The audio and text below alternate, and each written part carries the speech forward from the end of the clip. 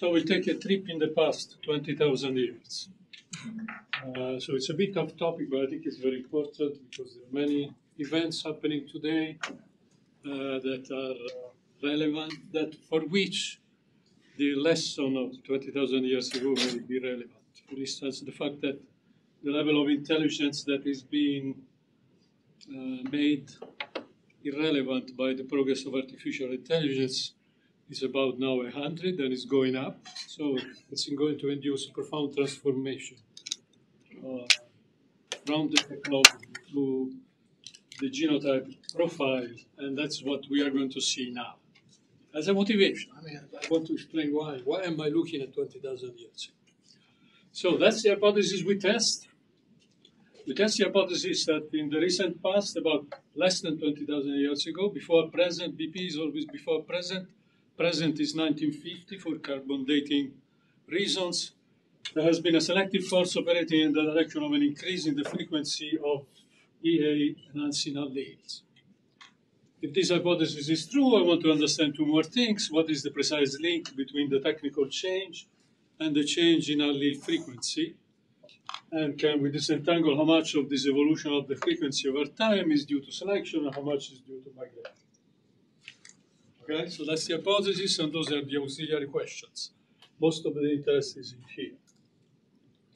Uh, we mostly use ancient DNA, and then we divide the period that we are interested in, for which we have data, into these five nice uh, periods. And so these two are non-problematic. When you get here, you start seeing problems because you see, the Mesolithic goes between 11,000 and 5,000, but the Neolithic goes between 8,000 and 3,000. So if you are born in 7,000 before present, uh, what are you? Mesolithic or Neolithic? And that's, that's a problem.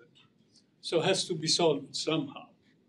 Is it clear? So it's not the distinction between periods is not only a matter of time, it's a matter of something else. And we'll see what it is.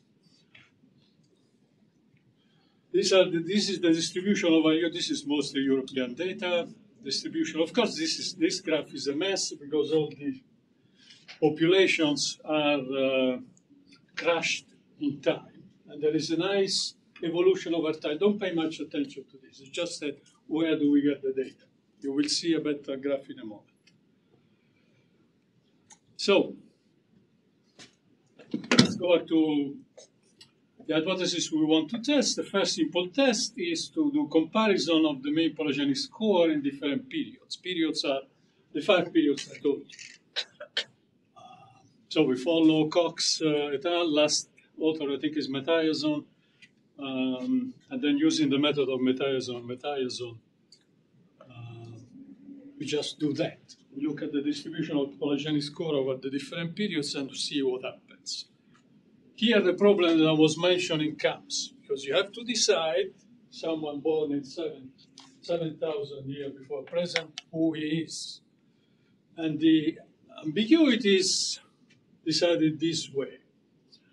Um, the overlap between Mesolithic and Neolithic was solved based on whether each individual had more or less than 50% ancestry of, Anatolic, of Anatolia so if you have more than 50%, you are Neolithic. If you are less, you are uh, Mesolithic.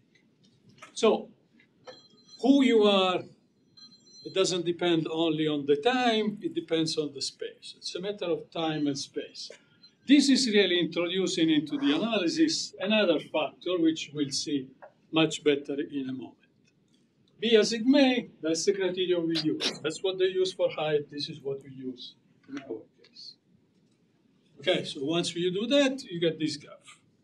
Now, this really, the late and early upper Paleolithic, is a nuisance. We have less than 50 data points here. We report them for completeness, but I think we should focus our attention on the green, blue, and brown spots, which are respectively Mesolithic, Neolithic, and post-Neolithic. This bar tells for the green cloud which is underlying,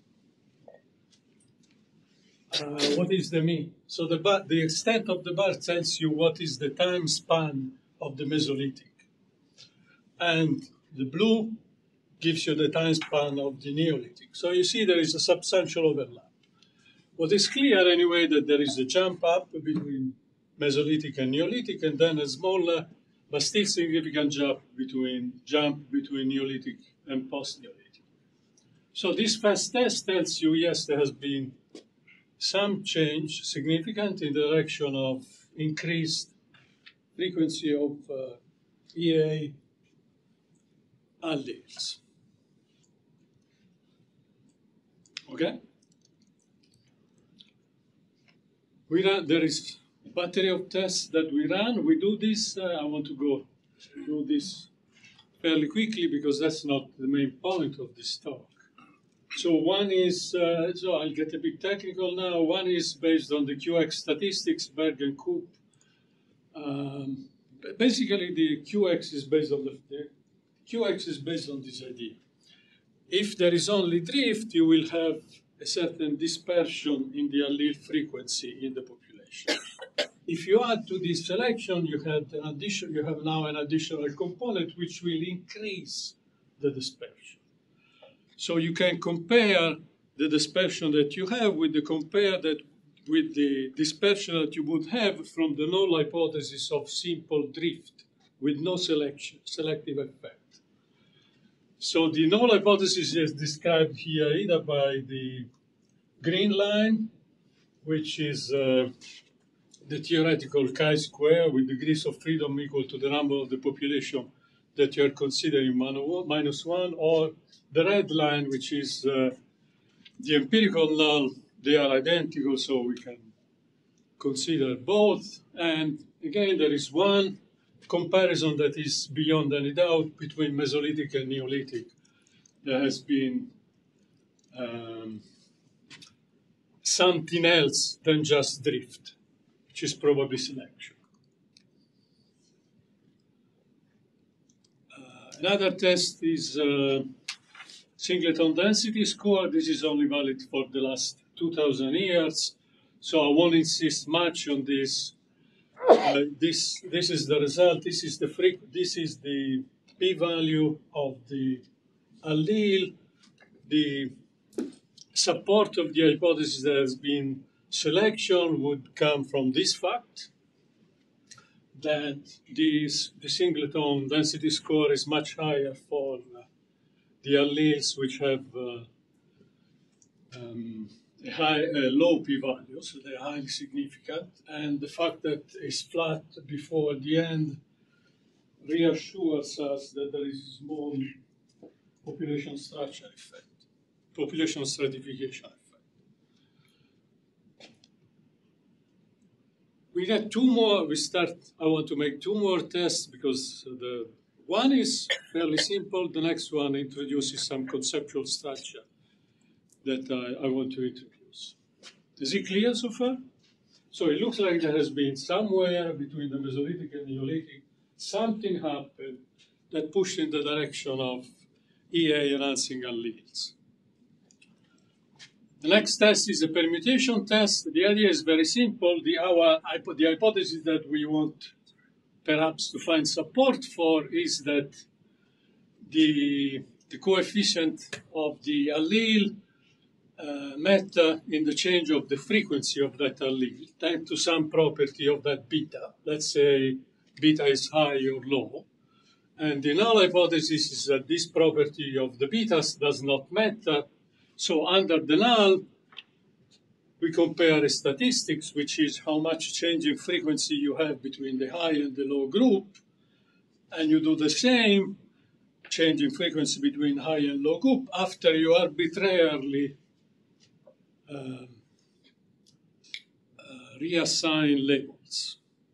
And if the null is true, you shouldn't see any difference. If the null is false, you should see a difference. So formally, the statistic that we are considering is built in two steps. You see for the allele K, the population M, the change in frequency between population M and the previous population at that allele you compute the, the mean frequency, the mean change in frequency at that allele in the population M, and the main and the change in frequency in the high and in the low. This should be M, in the high and in the low. And then you compare the same thing when uh, you permute randomly the labels. And we all com you compare the empirical distribution that you have with uh, many permutations to test the null hypothesis. And you find that again, the result that I mentioned. When you so for example, this in this, let's focus just on this. The high betas are the betas for the allele that have a positive effect, the low betas are those that have a negative effect. So you compare the change in frequency of the high that is positive effect and low uh, negative effect, and you compare it with the uh, empirical distribution that you obtain by randomly reassigning the labels. And the statistics is positive and is it's okay, it's 3.6 percent. Uh, the mean change in allele frequency and uh, is highly significant. Is also significant but small in the post-Neolithic. Okay.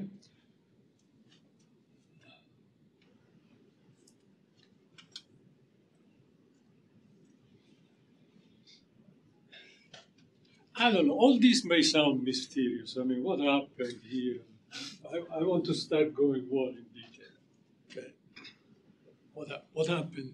So some, something happened 14 to 8,000 years before present. What is it? So I want to build a model. That's what I do professionally. So I'll start doing that. So really, the hypothesis that we are testing is this. There are two fitness functions described here in the standard Gaussian. These are not probability distributions. The height, the maximum, and the spread may change independently. Okay, it's a fitness function. If you have a phenotype like this, your fitness, if you're red, is this. And if you have uh, a phenotype like this and you're red, your fitness is much higher. We give a more concrete, uh, we'll be more concrete in a moment. So what we test is this hypothesis. Has there been somewhere in the past a shift in the fitness function? We don't know which direction can be increased or decreased. So the fitness function means in the if you are red, your optimal value is this. If you are green, your optimal value is 1.5. So has there been this shift? So to do that, you need to provide the MIF with a max with a likelihood function that you want to maximize, and I will do that. So the model I build is uh, we build is uh, Wright-Fisher finite population with mutation and selection. If you don't know what Wright-Fisher is, you will see it in a the unit of selection, as in Wright-Fisher, is the genotype, but we have to change a little bit Wright-Fisher because Wright-Fisher has the inconvenience that if you follow the path described and you take the gene, genotype as the unit of selection, you tend to deviate from Hardy-Weinberg. So at some point, I hope you know what Hardy-Weinberg. You deviate from Hardy-Weinberg You don't want to do that, otherwise your data are no good. So I want to introduce random mating to get back to Hardy-Weinberg in every period. So we model random mating so that the allele population is always in Hardy-Weinberg equilibrium in every period. And then selection operates through a fitness function. Okay, next slide is technical, but you know, it's just standard. I put together Wright-Fisher and Hardy-Weinberg notation is this. M is the population size, for the moment is fixed. There are uh, 2m number of alleles. This is the set of genotypes. Okay, 0, 1, 2 to the power k. k is the number of alleles of interest.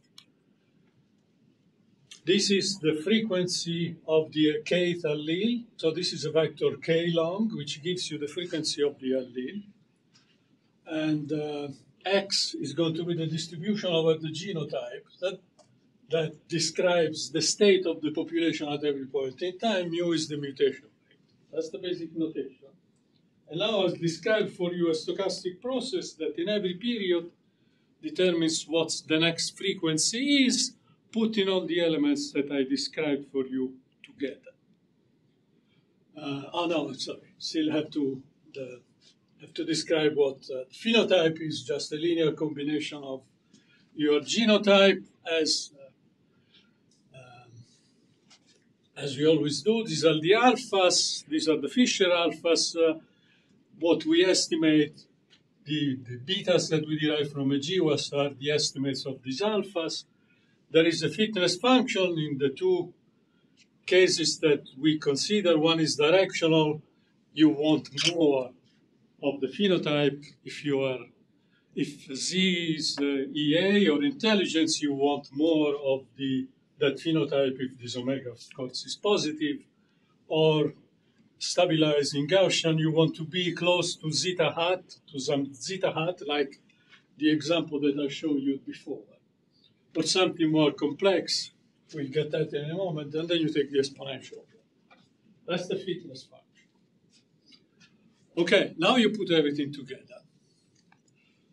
And so I, will start, I'll describe for you. I got Oh, yeah.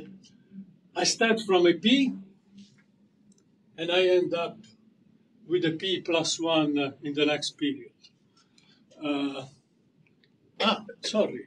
I'm sorry. I had shift. This is the slide I want to focus. Here is the P I.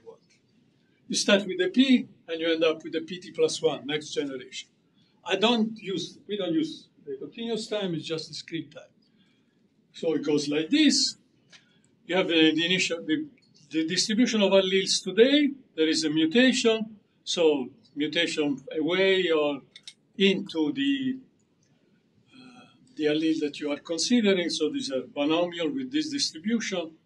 Then you put the distribution that you obtain into Hardy-Weinberg. You create a distribution over the genotype by taking the product of the margin. Also, you ignore linkage, linkage disequilibrium. Then you let operate selection operate, and you get the new distribution over the genotype. Um, now Wright Fisher comes in. That's the step you may have not known. So the new population is you have this distribution over the genotype.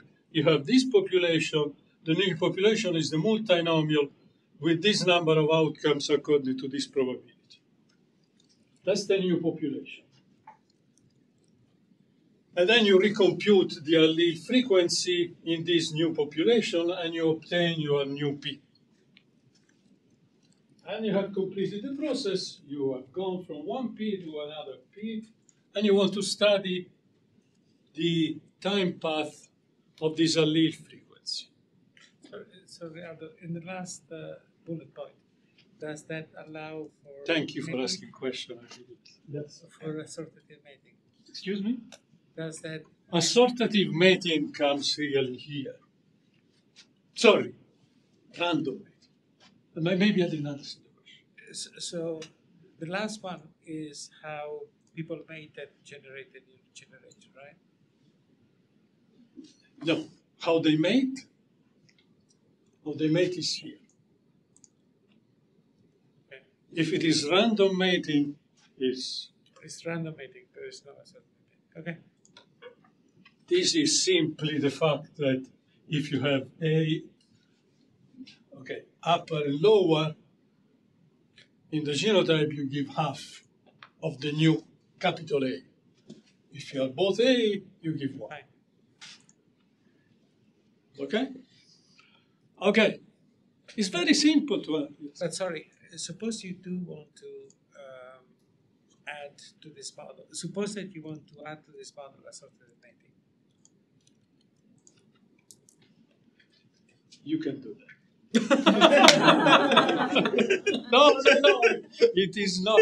It is not analytically complicated. There is a sortative mating twists the thing a little bit. I'll send you my paper. You will see. Twists a little. in the grand scheme of things, I don't know how assortative mating was among hunter gatherers, but I can make something up. but, but you can put it in. I guarantee you that nothing will change. Is that okay? I mean, look, the one thing you know of the polygenic score is that it's in Hardy Weinberg. By the way, it's Hardy Weinberg by definition, because if it is not, you throw away the allele. And first, and second, that is normally distributed. So you have to keep these things in your model. Otherwise, you are off, off the tangent. Is that okay? So uh, random versus assortative mating is the last of my words. Okay? So, okay, so this is the process. It's very easy to look at this process because um, so let, us summarize what we have done. You have a P and you go to the next P. It's a stochastic process which depends on decay, the cardinality of the relevant SNPs, the population size, the mutation rate. I call it psi. So you take a P and you get a new P, which I call phi of, psi of P.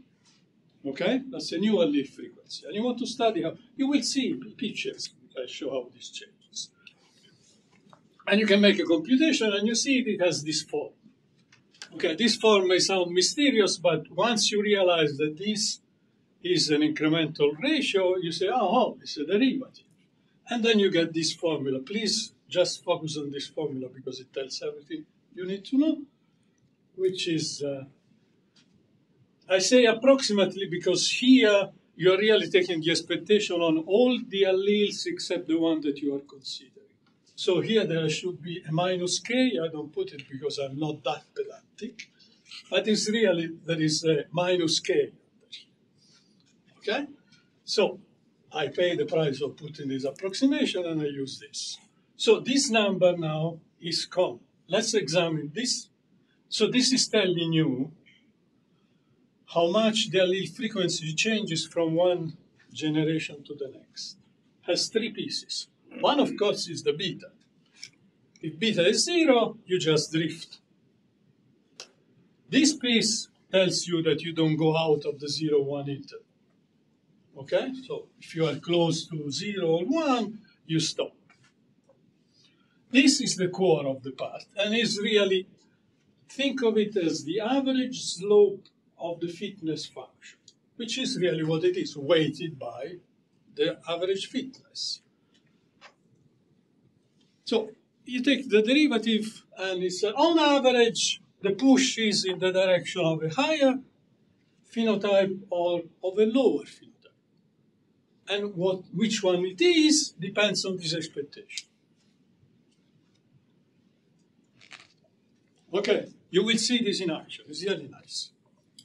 Uh, okay, one outcome of this is that now you can write a likelihood function because if the um, if the fitness function is either directional or stabilizing, you get you get a combination of Gaussian. So you complete the square, you get a likelihood function.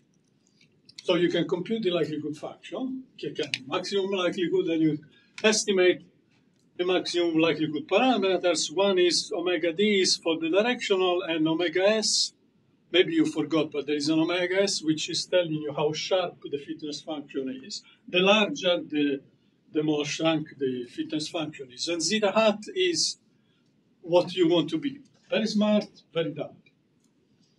Okay? And you find the thing that we have found already many times, that between Mesolithic and Neolithic, there has been an increase of the z hat from minus 6. These numbers don't mean anything, but you have to check in comparison to the other. A substantial increase in the z hat. You want to you want to go from being dumb to being smart, if I may use this very rough terms. And uh, the steepness has increased. This is for the stabilizing. I'm just saying, we confirm for the fifth time this claim that somewhere, not somewhere, between the Mesolithic and Neolithic, this happened. You, you wanted to go from being dumb to being smart. Yes. This uh, question that reflects my ignorance. That so I'm here too. feel free to skip it. But um, I can if if I think of EA, I the fitness function, if I understand what it is, is um, probably monotonic rather than step. He's going to climb. Sorry. He's going to climb. Yeah, but I- don't see the the um, the drift in the in the in the sharpness intuitively. But, You know, when when you gave the example with the uh, with the gene, I was thinking BMI. So you want to be not too light or not too heavy, and so you have that shape. But for EA, you don't want to be too small. You know, let me be indiscreet. When was the last time you worked in farm? So I've been working on and off in a farm since I was 10. I can tell you one thing, it's real, real, really done. So you don't want to be too smart to. so you don't want to be stupid because you have to plan. But when you are too I'm so I'm sort of joking, but okay, the mathematical reason for having these fat statistic lines, otherwise the allele keeps floating. Everything goes to one. But I think there is a good reason for having a declining shape. Now, if you are asking, well, this is a very simple picture of the technology that is available, I completely agree with you, and maybe we should put some effort in understanding how the different technologies uh, come in, Yeah, which is one way. may, may, because maybe the discussion in a moment is going to be more concrete. Maybe one way to do it is to say EA uh, captures one aspect of of change and of what humans are. There are other stuff that Completely agree. We are focusing. It's a little bit. This there is a little bit of the straight plan. I agree. well, well uh, can't you compute other polygenic scores with the, you know from, from the same data that you had? Uh, you computed the EA polygenic score, but you could do other polygenic score. You could do the BMI. You could do height. You could do Very good point. We'll think seriously about that. Yes. Uh, but I'm really asking you: Do you believe this entire picture? Then I can start going doing this more. You should ask the Yeah. I, I have a question um, about about your model. So it, it seems like your model is, is assuming you have like a self-contained population and that you don't have migrations in. It's right? getting there. It's getting. I'm getting. Okay. I'm getting there. I'm getting here because that's. Thank you. So, as I said, wha- what happened here? It's all weird. I'm, I'm not happy about this. So, I want to give some flesh to this picture. So, here the flesh has two components. One is the population structure and migration pattern, the other one is climate change. So, here are uh, the years before present. Oh. Okay, so there are two schools of thought. You should put the present on the right or on the left. Yes. the present, as you can see, is on the right. Taste among co-authors. so this is the evolution over time. Actually, let's look. This is much more clear. Red is Western hunter-gatherers. E, blue is Eastern hunter-gatherers. Green is Anatolian farmers. That's me. And uh, YS is uh, Yamna. Uh. These are three waves that come in in different points in time, and we have to take that into account. As you can see, the, the pregnancy population changes. So this is the fraction of uh, West hunter-gatherers. As you can see, there is very little of hunter-gatherers in us.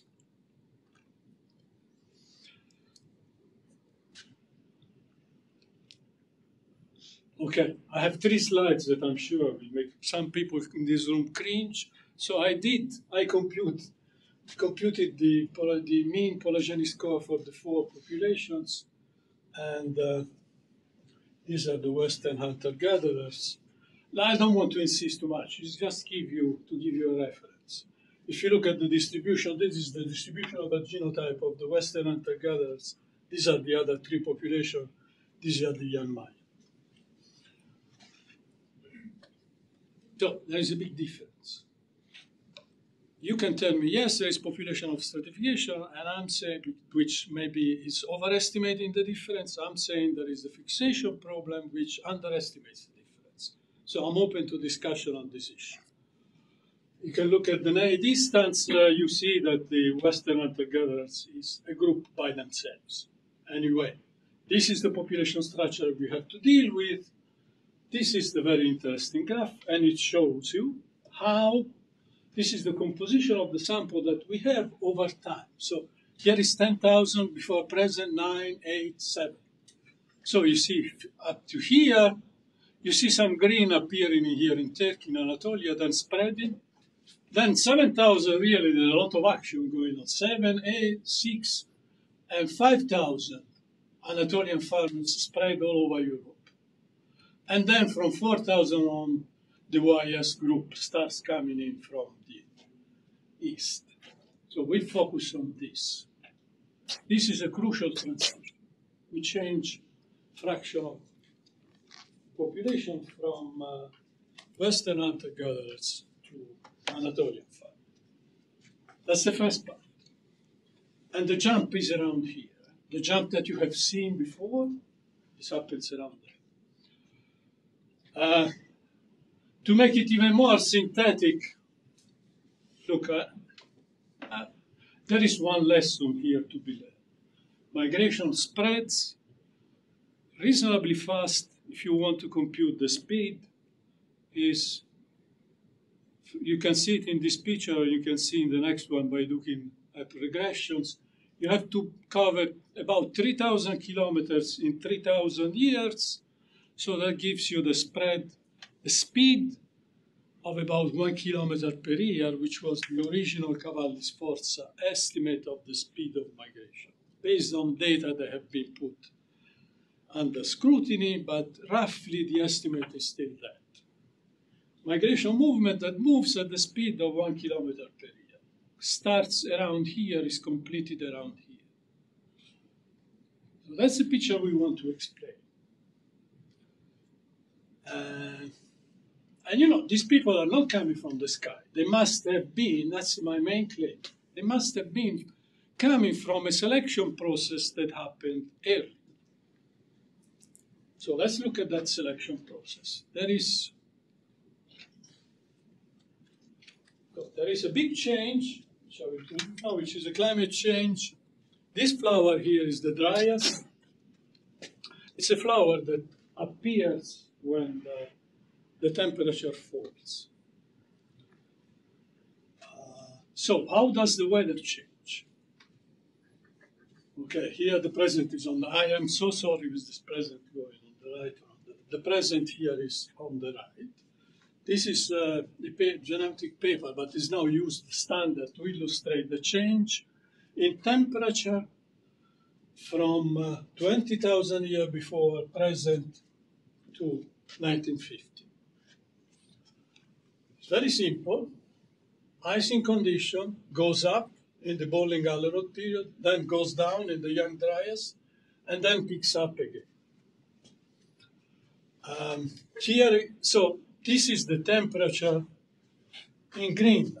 So you may say, why do we care about the temperature in Greenland? Well, the other thing you can check is the temperature in the Sorek cave. The Sorek cave is Sorek cave is a cave few miles south of Jerusalem. So it's, it's right in the middle of the Fertile Crescent, which is our, the object of our attention. And uh, it gives the path of temperature there. This is the path reported in the paper. I've been always been mystified by this. That's not really how the temperature is.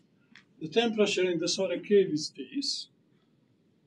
Uh, so, I mean, we really have data on the ratio of the 18 to 16 isotope of oxygen. From that, there is an Epstein formula that converts it to temperature. I am doing that. I don't show you the isotope. So that's the temperature. Now, the present is here. I apologize again. So, icing condition, temperature is around 10 to 15 centigrades. Goes up, then goes down in the younger dryer, then dryas, then goes up again. Now it's around above 25 and then slowly declines around 20, which is the current temperature. What we learn from this picture is there are conditions for agriculture which are favorable around this period. Maybe here in this period and then again in this period. That's where the selection operates. Uh, I have 10 minutes. Five if you, uh, if you want discussion.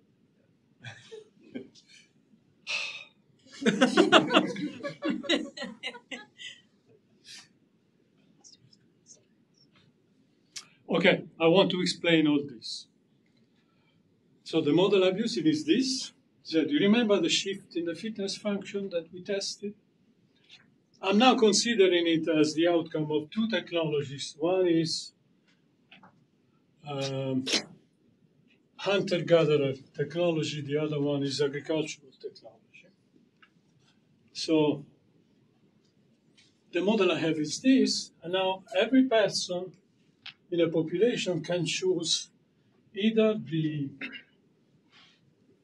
hunter-gatherer or the agricultural. And so the fitness function is really this. So has a peak if you choose hunter-gatherer, has another peak if you choose agriculture. Now you apply the formula that I was telling you to this situation, and you see how the allele frequency develops over time.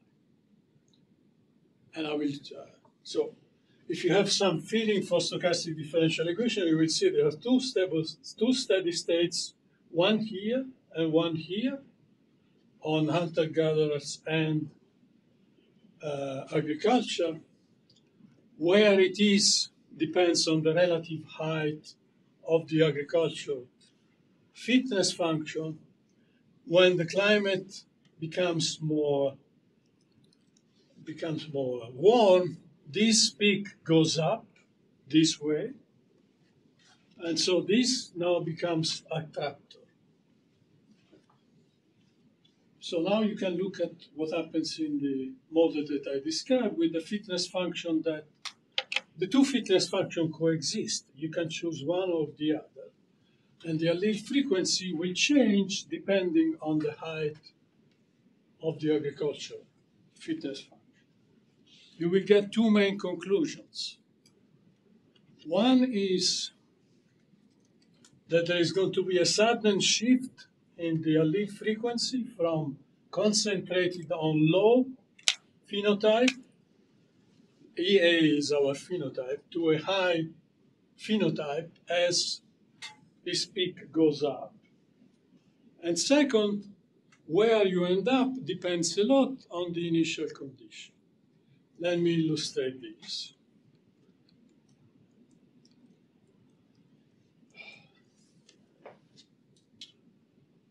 You will see four pictures. This is the profile of the two fitness functions. The, the red is the peak of the hunter-gatherer. The green is the peak of the agriculture.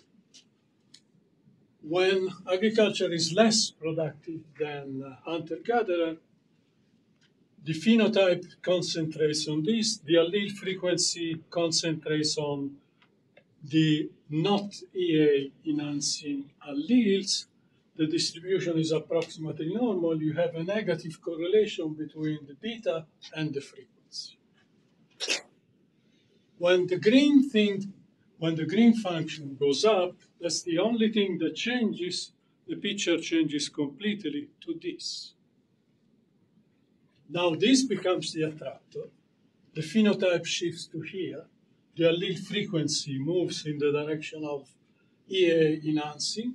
The distribution of the phenotype increases to the optimal phenotype for agriculture. The allele frequency now is positively correlated with the betas. This is with small population size if you increase the population size, nothing happens. The only thing that this thing becomes smoother, but the pattern is the same. Okay?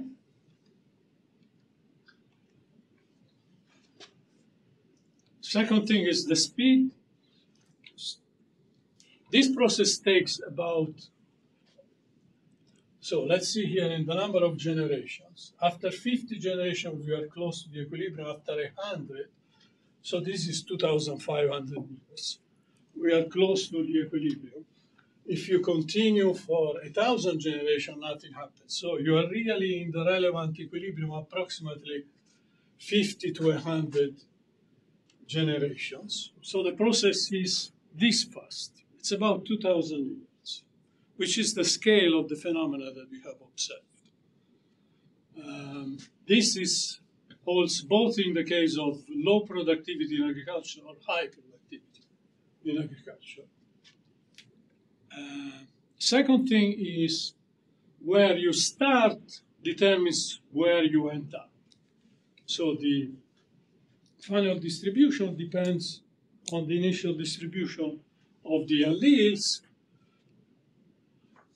Here is very simple picture to show you this. I, I put the initial allele frequency at varying from zero to one. Here is the, so the, on the x-axis you see the value of the initial distribution. On the y-axis you see where it converges. so what is changing here, nothing else is changing, only the initial frequency. When you cross a threshold,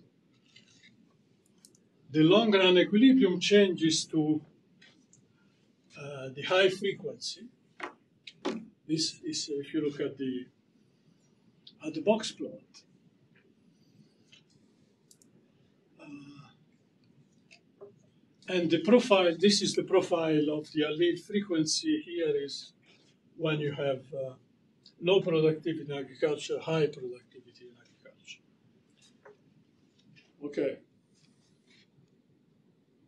Let me go to the conclusion because I understand there's been a lot of stuff. Main conclusions.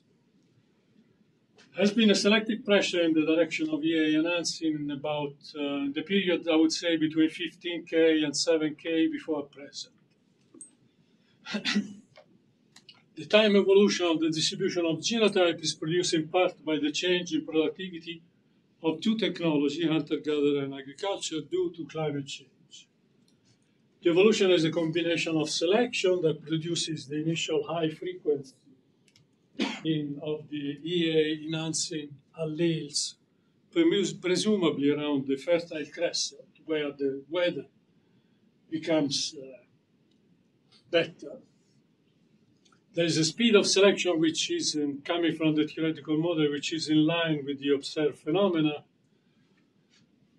And uh, the diffusion that of new populations that you have seen in the period from 7,000 to 5,000 can be very fast because the initial condition determines uh, where you end up. Let me explain this, which was the last point. Take a position in space which is above the Fertile Crescent. The temperature has increased, but not necessarily enough to make it favorable to agriculture. If there is mutation into that region from regions like uh, Anatolia, the population that is migrating is already at the allele frequency that is close to the equilibrium of the that is favorable to agriculture. So the chain reaction that we observe in the data is coming from this uh, dependence of the direction of the selection on the initial condition. That's it.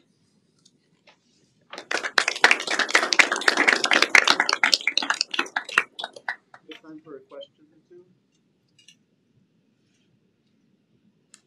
I, I, was, interested about uh, selection, not in terms of, I guess, natural selection, but selection of what species survive.